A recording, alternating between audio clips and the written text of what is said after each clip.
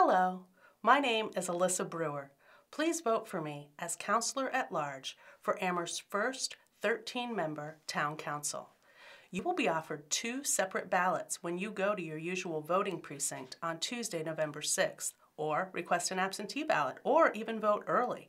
And there will be multiple places and times to vote early between October 22nd and November 2nd.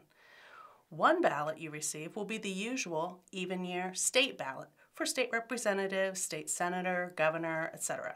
And that state ballot will also include five important ballot questions.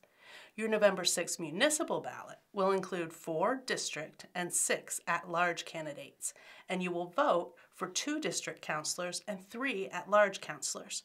You must be registered to vote by Wednesday, October 17th please go to amherstma.gov for more information. On that municipal ballot, I am one of six candidates for three at-large seats on your new 13-member town council. I am running because our community needs experienced, passionate, proven leadership at this historic moment in town governance. I have served in town-wide elected office for 16 years and can bridge the transition to a constituent-based legislature that incorporates far more than 13 people's views. Local government decisions are a sometimes underappreciated opportunity to also make a real difference in our daily lives, even as we continuously challenge everything that is wrong in our wider world. This historic election sets the stage for how our residents govern ourselves for years to come. I know how things work and how we can make things work better.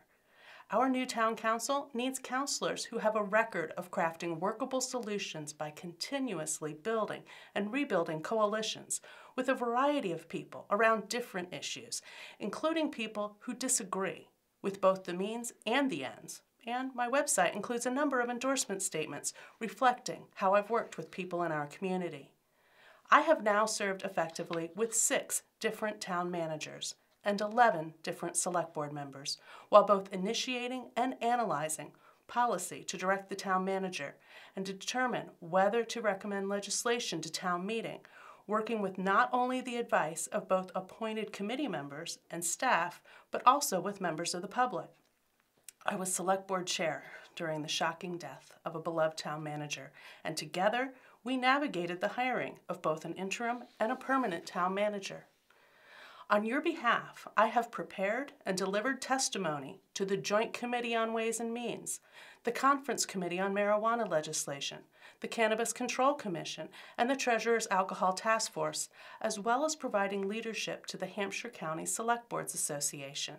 I have continuously fought for what this community values, while insisting upon the transparency we are not only required to have under open meeting law, but that we also cherish as part of direct democracy.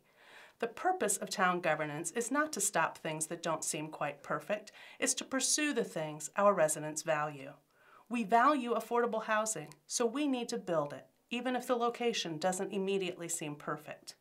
We value public education, so we need to fix our school infrastructure, even if we aren't 100% in agreement with the school committee about the educational programs being offered. We value leaving our children a habitable planet, so we need to explore multiple alternatives to fossil fuels while we find better ways to get people downtown, to buy both things and experiences, and to build responsibly, but not make it impossible to build at all.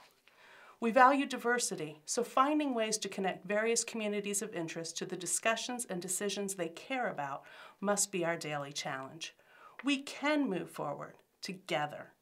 Please contact me through the campaign website, alisaforamherst.com, which focuses on three areas, local economy, transparent governance, and proven leadership. Please vote for Alisa Brewer at large on Tuesday, November 6th. Thank you for your time, and thank you, Amherst Media.